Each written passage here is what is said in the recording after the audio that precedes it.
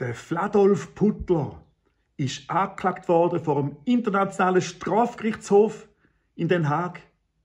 Und das ist eine wirklich eine sehr gelungene Aktion, genauer eine NATO-Propaganda-Aktion, die wirklich super funktioniert, weil viele Leute, ungebildete Bürger vor allem, also vor allem Westler, weil wir haben da seit 2020 wissen wir, wie viele ungebildete Leute wir haben in unseren Ländern, zumindest in Sachen Politik, die werden glauben, dass es irgendwelche Implikationen wird haben für das Leben von Fladolf Puttler.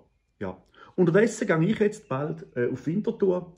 Ich habe Aufführungen dort gemacht. Ähm, ihr findet das auch in meinen Events von Tour der Schande auf stricker.tv slash events. Und äh, heute bin ich dort, ich glaube, schon etwa 170 Anmeldungen. Morgen sind es etwa 130 Anmeldungen.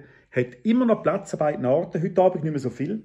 Äh, ihr könnt einfach anmelden, strick.tv slash events. Und ja, ihr könnt Eier mitnehmen. Dann könnt ihr mich mit Eier bewerfen. Das hat für mich den grossen Vorteil. Ich komme in die Zeitung. Es wird dann heißen antisemantischer Bassist mit Eiern beworfen. Und alle werden sich freuen. Und ich am allermeisten. Bis bald. Ciao miteinander.